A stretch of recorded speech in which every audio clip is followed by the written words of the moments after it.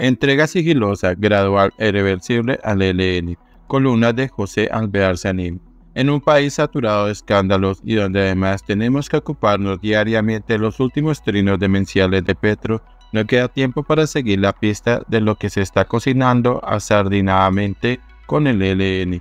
Después de unos aparentes enfrentamientos y desmentidos para hacer creer que entre el gobierno y esa guerrilla no hay identidad de propósitos, dice que se superaron los escollos hasta llegar a la cumbre en La Habana para encarrilar esas negociaciones.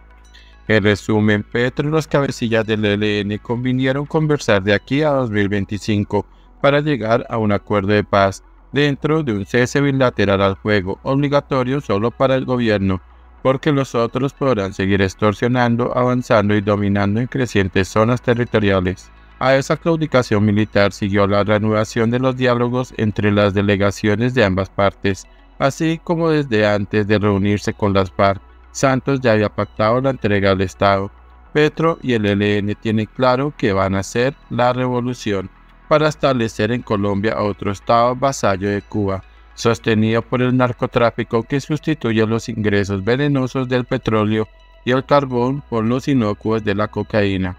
Si lo de Santos y las FARC fue un yo con yo, lo de Petro con el ELN es igual, y hará como resultado el cambio del modelo económico y democrático por el despotismo, la eliminación de las libertades individuales, la colectivización de la agricultura y la estatización de la economía.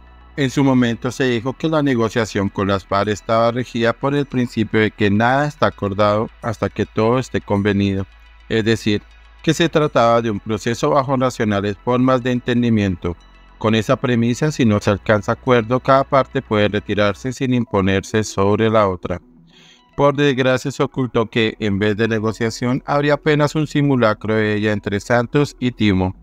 Ahora con el LN el simulacro estará regido por la norma de que los acuerdos preliminares serán considerados como definitivos, de manera que cada vez que el gobierno acepte algo quedará comprometido inexorablemente.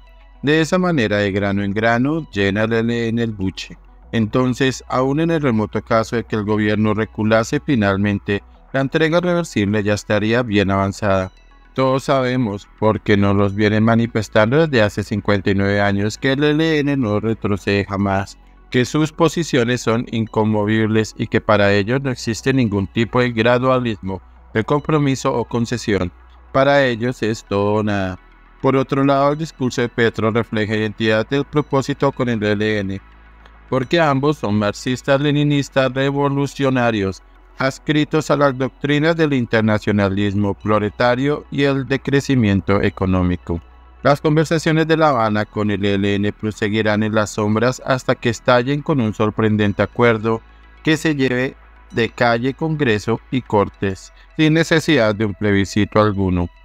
Autogolpe o golpe bilateral, a partir del cual esa dupla siniestra hará su voluntad, apoyada en guardias campesinas, colectivos urbanos y guerrillas, que luego serán homologadas para su incorporación al Ejército y la Policía Nacional, mientras los aterradores detalles sobre esa negociación encubierta, sigilosa, rodeada de sombras siniestras, empieza a filtrarse, el país en vez de reaccionar se distrae con la ilusión sedante, en lugar de enfrentar la desoladora información veraz sobre lo que nos prepara.